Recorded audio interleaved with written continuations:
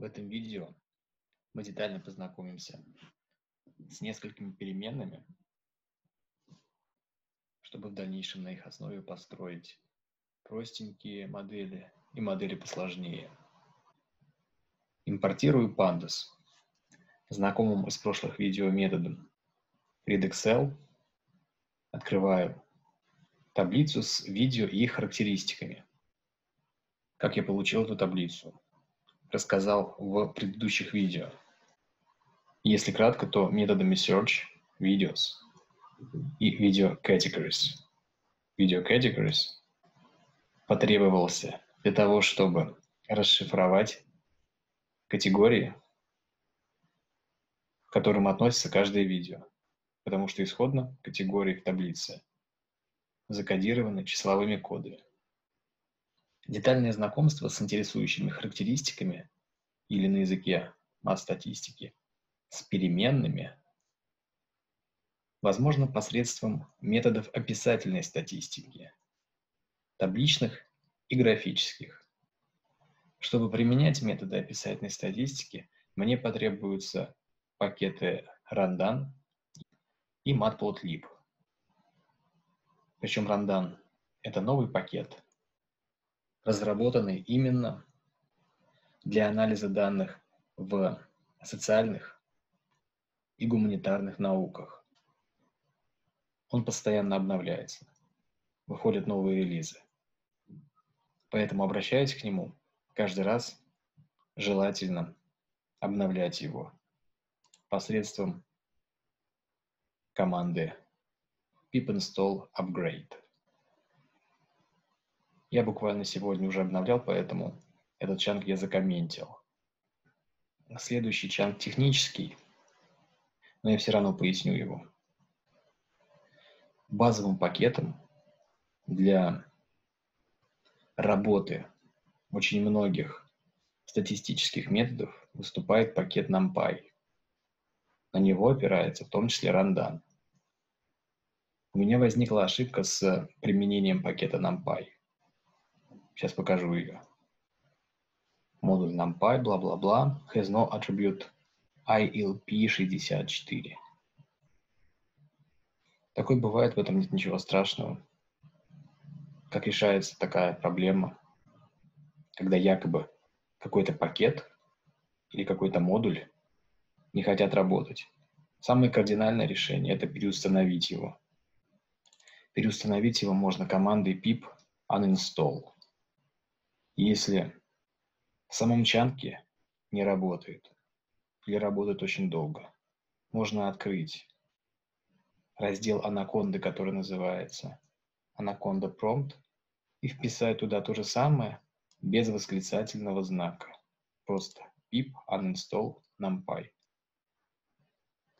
И промпт спросит у вас, действительно ли вы хотите удалить, по-английски спросит, скорее всего, и надо нажать клавишу Y, чтобы согласиться. И после того, как процедура выполнится, снова установить командой pip install upgrade. Но это техническое отступление, как решать такого рода проблемы.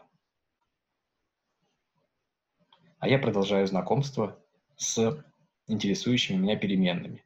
В первую очередь меня интересуют переменные про количественные характеристики видео – количество просмотров, лайков, дизлайков и комментариев. Прежде чем применять описательную статистику, следует определить, к какому типу шкалы относится та или иная переменная. В моем случае все четыре переменные измеряются в штуках. Количество просмотров, то есть фактически количество физически совершенных действий. Количество лайков то же самое. Количество физически совершенных действий. Пользователи жмут на кнопочку с большим пальцем вверх. У меня есть шпаргалка, чтобы сориентироваться, к какому типу шкалы относится та или иная переменная. В этой шпаргалке четыре ориентира. Надо пройтись по ним последовательно, причем не обязательно по всем. По обстоятельствам. Посмотрим. Переменные view count. Могут ли быть упорядочены категории переменной по своей сути?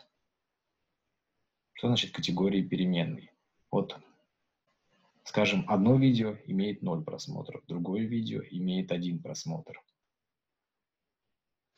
Следующее видео имеет еще тоже один просмотр, следующее видео имеет два просмотра и так далее. Сколько просмотров – это есть категория данной переменной. Можно ли видео упорядочить по этой переменной? Конечно. Условно слева расположится видео, у которых меньше просмотров, а справа – видео, у которых больше просмотров. Значит, на этот вопрос следует ответить «да». Поэтому viewCount – это не номинальная переменная. Теперь вопрос, это порядковая или интервальная переменная?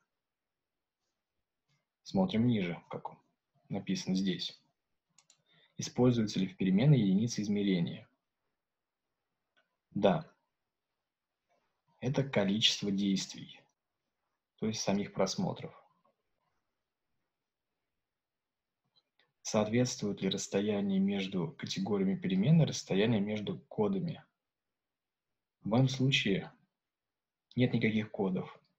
Сами числа отвечают на вопрос, сколько просмотров. Число 2 значит 2 просмотра.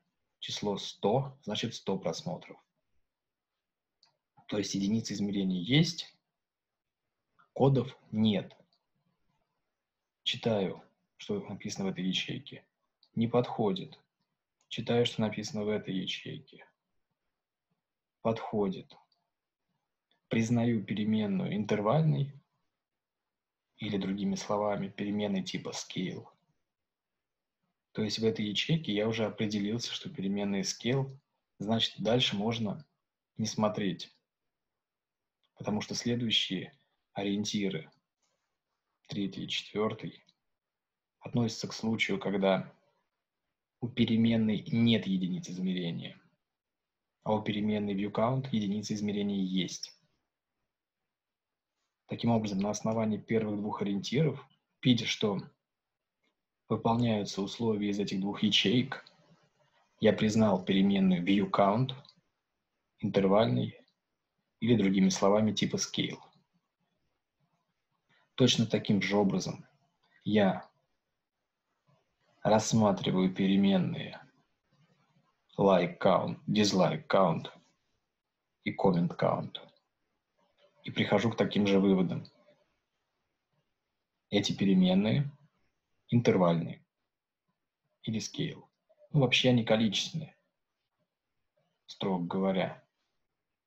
Но в вопросе применения методов описательной статистики разницы количественное, интервальное, scale не будет. Это примерно одно и то же в вопросе применения описательной статистики. Импортирую релевантный класс методов из пакета Randan и пакет matplotlib. Посмотрите, можно импортировать весь пакет Rundown Descriptive Statistics. И это не будет ошибкой. А можно, как в моем случае, импортировать только группу методов из этого пакета. Группу методов, которые формируют класс Scale Statistics. Можно делать и так, и так. Я сделал так, а альтернатива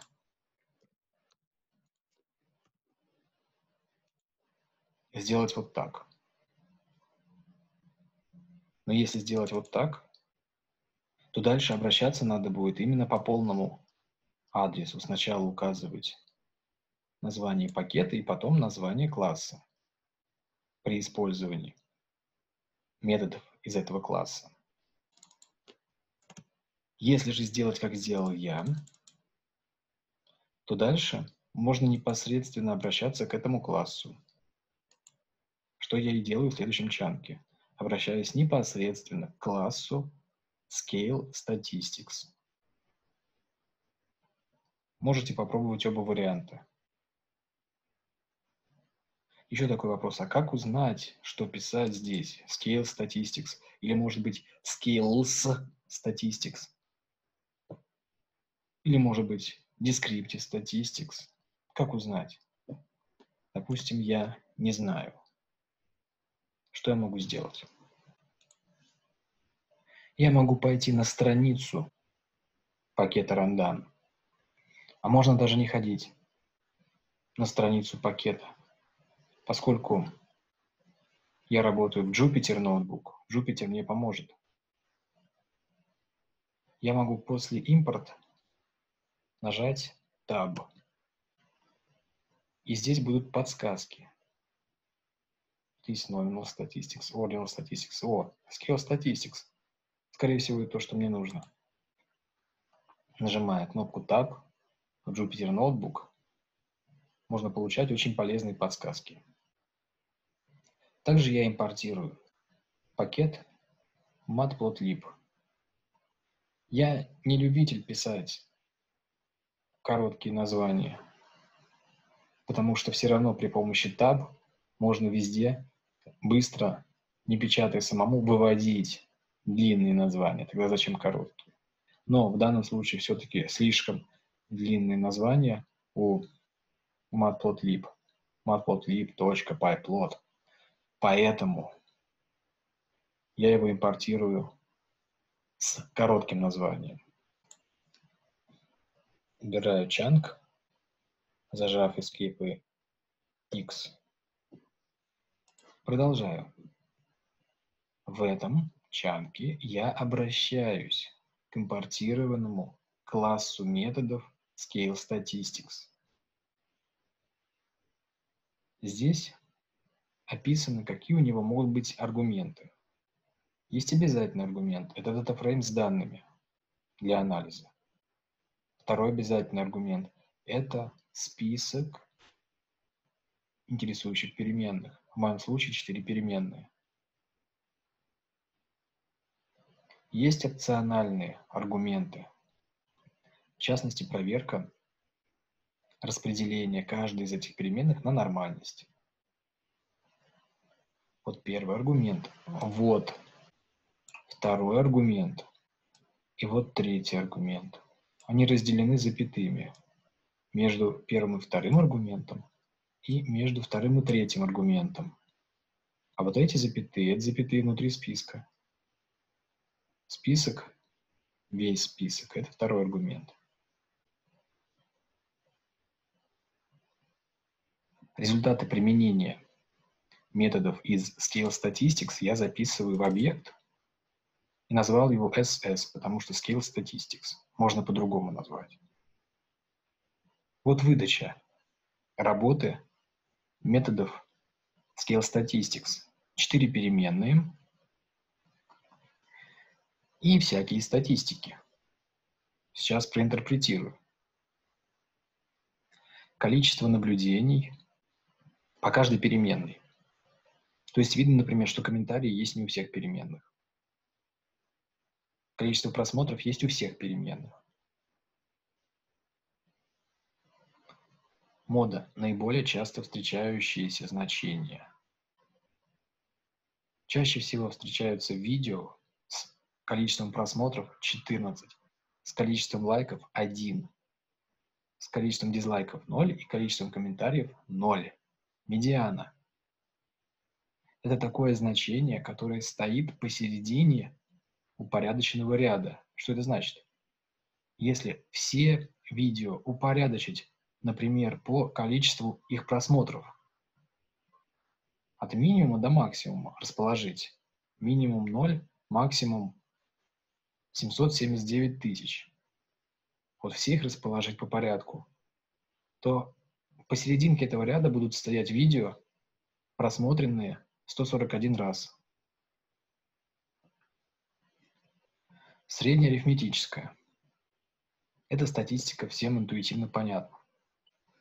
Причем заметьте, какая разница. Медиана 141, а среднеарифметическая 2429. К этому вопросу я еще вернусь, как соотносятся медиана и средняя. Первый квартиль. Первый квартиль похож на медиану, только это не середина упорядоченного ряда, а значение, которое делит упорядоченный ряд на две части. Слева 25%, справа 75%.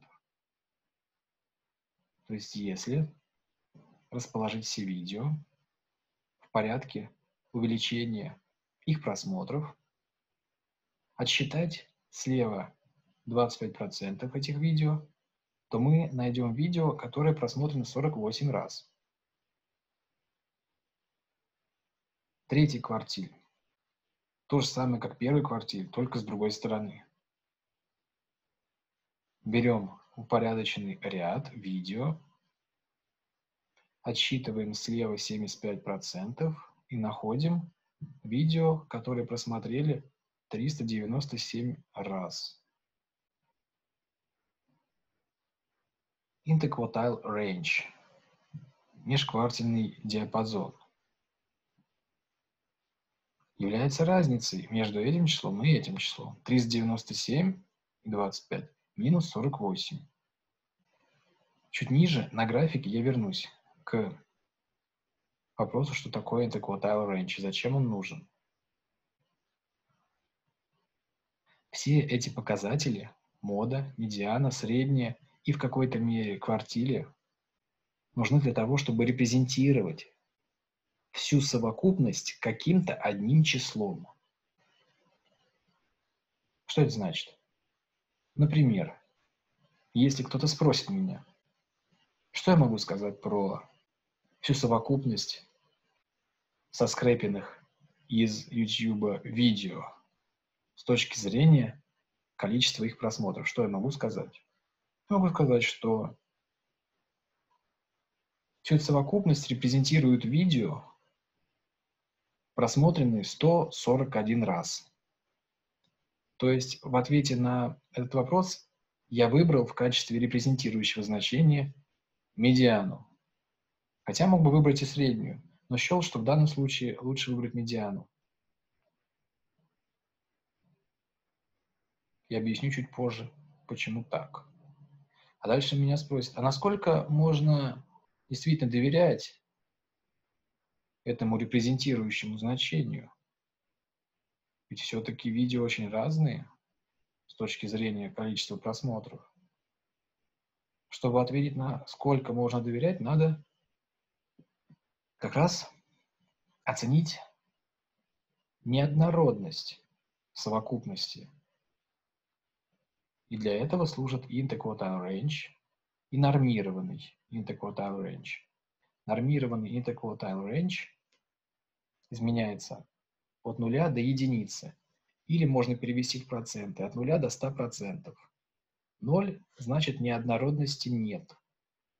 Единица или 100% значит неоднородность максимальна. В данном случае по всем видео неоднородность почти отсутствует. Минимальное значение, максимальное значение. То есть, видите, какие-то видео никто не посмотрел. Грустно. Разница между максимум и минимум – это range. Стандартное отклонение и дисперсия – это тоже показатели неоднородности. Изменяются от нуля до плюс бесконечности чем выше стандартное отклонение и дисперсия, тем неоднородность выше. К сожалению, у них нет верхней границы. Нельзя сказать, что неоднородность 100% или неоднородность 90% на основании стандартного отклонения, на основании дисперсии.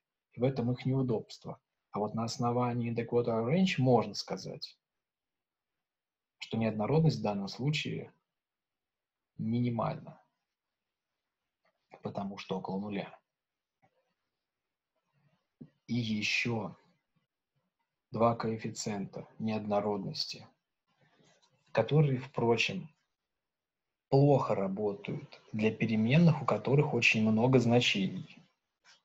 Все четыре изучаемые переменные имеют очень много значений, поэтому для них плохо работают эти коэффициенты.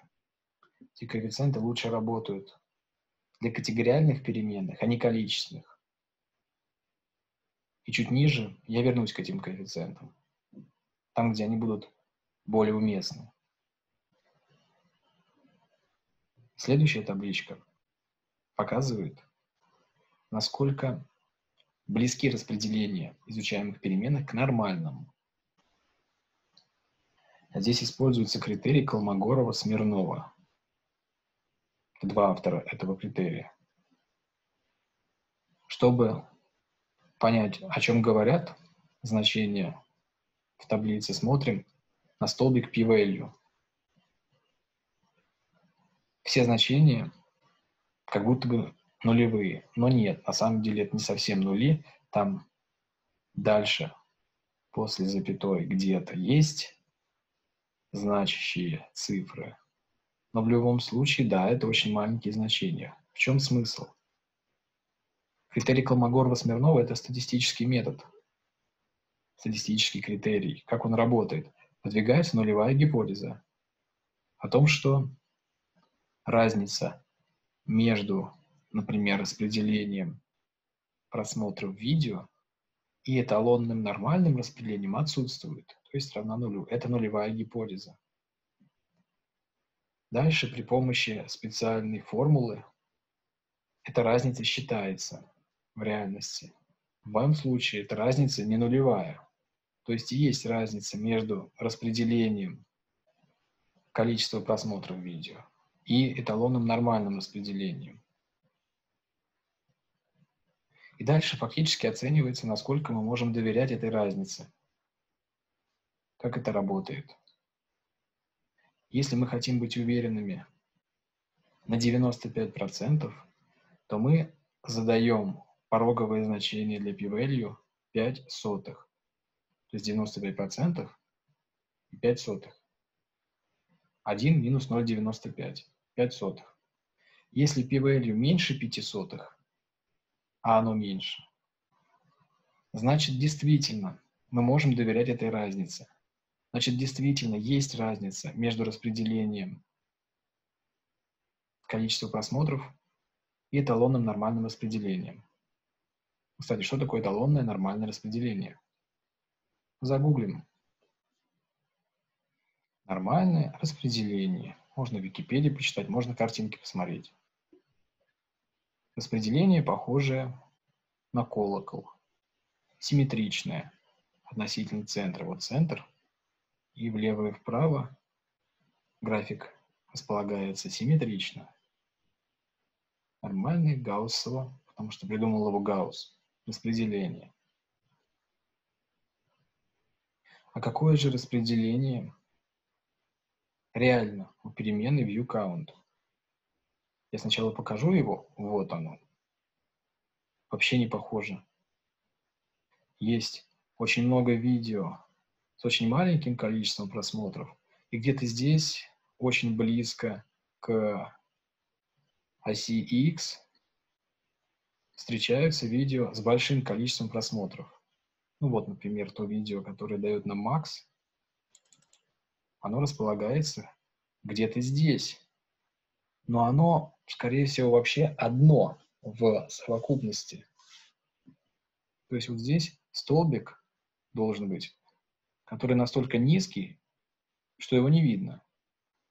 И здесь тоже встречаются видео там с, тремя стами тысячами просмотров, с четырьмя стами. Они встречаются, но их очень мало и гораздо меньше, чем видео с просмотрами в диапазоне от 0 до примерно 80 тысяч. Вот таких видео их очень много. Всех остальных видео очень мало, поэтому они не видны. Это распределение вообще не похоже на нормальное. Вот нормальное было бы какое-то такое. А как получить гистограмму, стоит вопрос. Потому что, согласитесь, табличка – это хорошо, но посмотреть на гистограмму бывает полезно. Здесь может быть не очень показательная гистограмма, хотя она показательна в том плане, что точно ненормальная. Так вот, построим гистограмму. Обращаемся к пакету matplotlib. Я его уже импортировал выше под именем plt. Метод figure. В этом методе можно задать размер графика. Если его не задавать, он, то он будет маленький. Если здесь больше числа поставить, то график станет больше. Например, вот так я сделаю, смотрите, что получится. Я растянул график.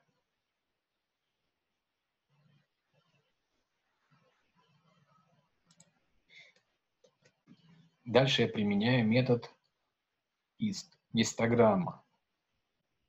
Аргументом метода hist выступает столбик с данными, причем очищенный от пропусков. Этот метод dropNA позволяет избавиться от пропусков. Насколько я помню, в переменной viewCount нет пропусков, но в остальных переменных есть пропуски, потому что есть видео, по которым нет информации о лайках, дизлайках и комментариях. И чтобы применение пакета matplotlib не выдавало предупреждение, надо избавиться от пропусков. Я избавляюсь. Таким образом, вот аргумент метода hist, в котором содержатся данные для построения графика. И второй аргумент – цвет метод title для того, чтобы задать название графика, и методы xLabel, yLabel для того, чтобы задать название оси x и оси y. И вот точка запятой, чтобы не выводилась техническая информация, должна быть в конце вот так. Но теперь не будет выводиться. Вот график. Этот график называется гистограмма столбики – это гистограмма. Но есть и второй очень полезный график. Это бокс-плот. По-русски переводится как ящик с усами. Все то же самое. Обращаемся к matplotlib, методу figure, размер задаем. И вместо hist используем метод boxplot. Точка, boxplot, скобочки. Причем, смотрите, я мог бы сюда снова поместить data, скобочка, название столбца, drop Но я решил оптимизировать, сделать более универсальным. Я в отдельную переменную записал название столбца, который анализирую. И теперь я здесь обратился к объекту var, куда я записал название столбца. В заголовке графика я снова использую объект var. Я использую конструкцию с буквой F, то есть текстовый объект с буквой F спереди позволяет делать вставки. Вот она вставка. В этой вставке я обращаюсь к объекту var, причем я его делю на две части методом split, делю по точке. Вот точка я по ней делю этот объект на две части. И беру вторую часть, потому что индекс 1. Если бы здесь был индекс 0, я взял бы первую часть. Но мне это нужна вторая часть, где написано viewCount. Вот ее я и беру. И она располагается в заголовке. То же самое я делаю для оси Y. И она располагается на оси Y. Боксплот ящик с усами, но никакого ящика здесь нет. Почему? Видео с просмотрами в районе нуля так много, что они все здесь концентрируются, вот в этой горизонтальной линии. То есть весь ящик, вот, который вот такой мог бы быть, он сжался до просто горизонтальной линии. И вот встречаются еще одиночные видео, которые имеют очень много просмотров. Вот максимум 780 тысяч примерно просмотров. Вот 300 тысяч, вот 200 тысяч, вот 100 тысяч. Здесь уже много видео. Но большая часть видео все равно вот здесь. И в этом диапазоне, фактически от нуля до нуля, ну, если округлять, сосредоточено больше 50% видео. Как я это узнал? Боксплот, он как раз строится на основе первого и третьего квартилей. Возвращаюсь к табличке со статистикой. Первый квартиль 48, второй квартиль 397. Interquartile range – это и есть высота бокса. То есть высота бокса на самом деле 349. Но поскольку масштаб здесь не позволяет увидеть реально высоту бокса, он очень маленький, этот бокс, в высоту, поэтому визуально он сжался. Если сделать очень высокий график, ну давайте попробуем сделать очень высокий график, может быть, получится увидеть высоту этого бокса. Ну вот уже потихонечку начинает увеличиваться. Можно еще. Попробую сделать 600. Вот он бокс, смотрите. А вот эта красноватая линия – это медиана. Итак, это первый квартиль, то есть 25%. Вот все, что вот здесь, ниже первого квартиля, это те видео, которые имеют количество просмотров меньше 48. В самом боксе находятся видео, которые имеют просмотры от 48 до 397. Вот, до 397. И дальше идут оставшиеся видео, которые имеют гораздо больше просмотров. В разы, в десятки раз и даже в тысячи раз большее количество просмотров. Вот эта медиана, она репрезентирует, на мой взгляд, всю совокупность. Почему не средняя? Как раз потому, что очень смещенное распределение. Большинство видео попадает в нижнюю часть бокса. А если на гистограмме, то большинство видео попадает в левую часть бокса. В левую часть гистограммы. Очень смещены видео сторону низких значений. В такой ситуации репрезентировать лучше будет медиана, чем средняя. Может быть, не сильно лучше, но лучше. Вот смотрите, медиана 141, средняя 2429. Ну, явно у нас видео мало просматриваемые, поэтому, конечно, медиана лучше репрезентирует. Еще я обещал рассказать подробнее про нормированный interquartile range. Посмотрим еще раз на бокс. Вот высота бокса – это просто interquartile range. Высота бокса может меняться от нуля до плюс бесконечности. А хочется ориентироваться на коэффициент, который меняется от нуля до 100%. Как это сделать? Очень просто. Поделить interquartile range на весь range. Как тогда это интерпретировать? Сейчас покажу.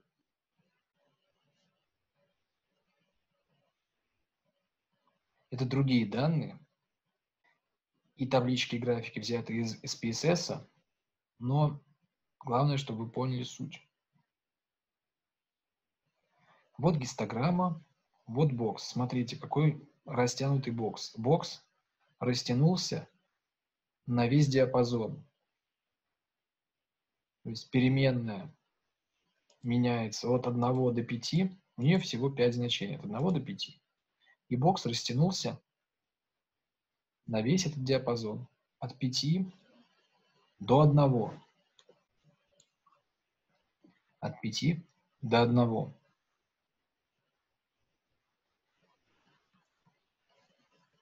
То есть весь диапазон равен 4, 5 минус 1. И interquartile range тоже равен 4. Делю это, эту четверку на эту четверку, получаю 100%. То есть, сейчас я вам показал ситуацию, когда неоднородность близка к максимальной. Это вообще не наш случай. У нас бокс реальный малюсенький. То есть наш случай близок к вот этой ситуации. Тоже один столбец доминирует. Только в нашей ситуации он слева, а в этой ситуации он по центру но все равно доминирующий столбец один. И бокс сжался до горизонтальной линии. Чтобы увидеть бокс, приходится растягивать график очень высоко. И вот в этой ситуации interquartile range равен нулю. Range – те же самые 4. 0 разделить на 4 – 0%. Как раз как в нашей ситуации как в нашей ситуации. Interquartile range равен нулю. 0%. А вот средние ситуации, ситуации со средней неоднородностью. Бокс растянулся на две категории. От второй до четвертой. 4 минус 2 равно 2. Вот он. Interquartile range равен 2. Весь range все те же самые 4. 2 разделить на 4 – 50%. Неоднородность в районе 50%. Таким образом, можно сказать, что переменная viewCount очень однородна. Подавляющее большинство видео имеет мало просмотров и репрезентирует их видео имеющий 141 просмотр. Это резюме описательной статистики по переменной ViewCount. Давайте посмотрим на эти видео, которые лучше всего репрезентируют всю совокупность с точки зрения количества просмотров. Можно обратиться к Excel и отсортировать или отфильтровать но я останусь в Python и сделаю это в Python посредством индексирования датафрейма.